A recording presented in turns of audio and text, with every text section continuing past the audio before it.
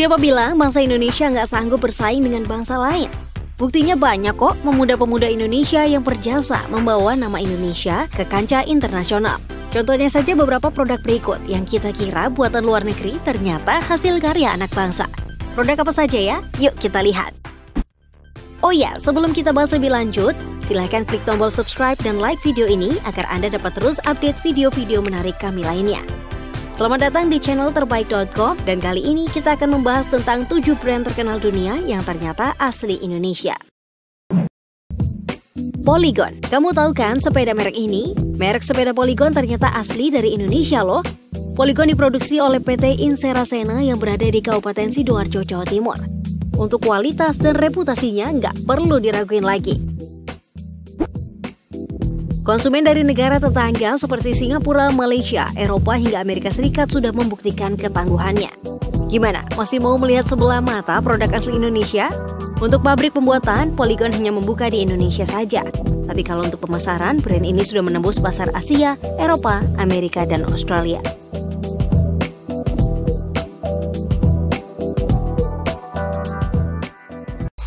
The Executive Brand fashion ternama ini mungkin akan disangka sebagai salah satu produk impor.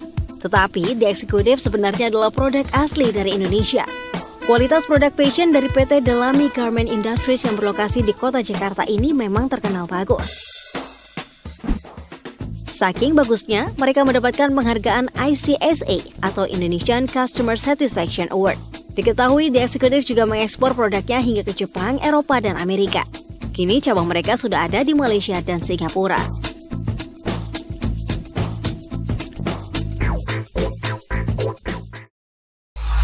Lea, coba lihat koleksi celana jeans milikmu. Apakah salah satunya ada yang bermerek Lea? Kalau iya, sebetulnya kamu sudah memakai brand dari Indonesia. Ya, mungkin tadinya kamu kira kalau Lea Jeans adalah produk dari Amerika karena logonya yang mirip dengan bendera negara tersebut. Tapi nyatanya ini adalah produk asli Indonesia yang dibuat di Tangerang, Banten oleh PT Lea Sanen. Dan tahukah kamu kenapa mereka lebih memilih untuk pakai logo Amerika ketimbang Indonesia? Hal itu dikarenakan pemikiran orang Indonesia yang mengira kalau jeans terbaik adalah buatan Amerika. Hmm, ide bagus sih, tapi jadi berkurang dong nasionalisnya.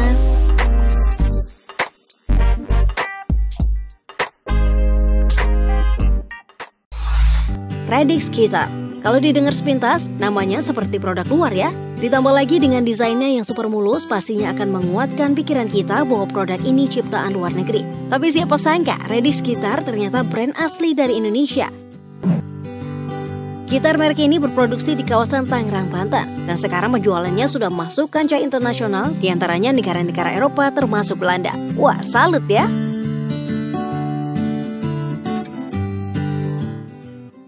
Edward Forer. Namanya yang ke barat-baratan mungkin akan membuat kita berpikir kalau Edward Forer adalah brand dari luar negeri. Tapi ternyata itu salah. Karena merek ini asli dari Indonesia. Produk fashion yang terkenal dari merek ini ialah sepatunya yang sudah dikenal sejak lama. Barang-barang fashion ini sendiri diproduksi oleh perusahaan Edward Forer yang berlokasi di Pando. Dan sekarang Edward Forer sudah memiliki 50 gerai yang beberapa di antaranya berada di Australia, Malaysia, hingga Hawaii.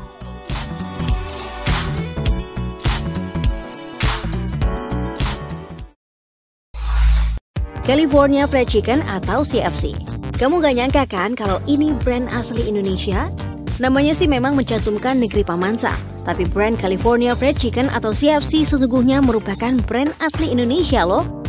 Mereka mencantumkan nama California karena pada awalnya brand ini memang milik Amerika. Tapi sejak 1989, brand tersebut sepenuhnya milik Indonesia. Walaupun sudah lepas dari pihak Amerika, tapi CFC masih tetap terkenal kok. Buktinya, restoran yang kini dikelola oleh perusahaan bernama PT Pionerindo Gourmet TPK yang berlokasi di Jakarta ini sudah memiliki 285 gerai di seluruh Indonesia.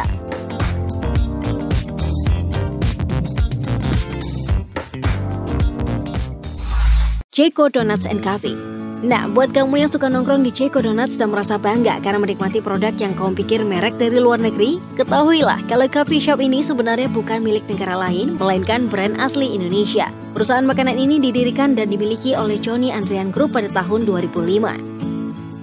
Hingga sekarang, jumlah gerai Ceko Donuts and Coffee di Indonesia sudah mencapai lebih dari 100 gerai. Dan kalau untuk cabang luar negeri, gerai makanan ini sudah tersebar di Singapura, Malaysia, China, Filipina, hingga Hong Kong. Di tiap negara ini pun, Ceko Donuts and Coffee tidak hanya memiliki satu gerai saja.